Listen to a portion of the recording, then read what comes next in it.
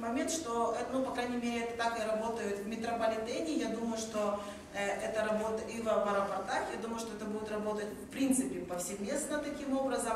Каждый дефибриллятор, он закреплен за каким-то ответственным лицом. И он устанавливается в местах общественного доступа в специальных защитных ящиках для того, чтобы, ну, акты вандализма все равно присутствуют. Ну, никуда мы, к сожалению, от этого не можем уйти.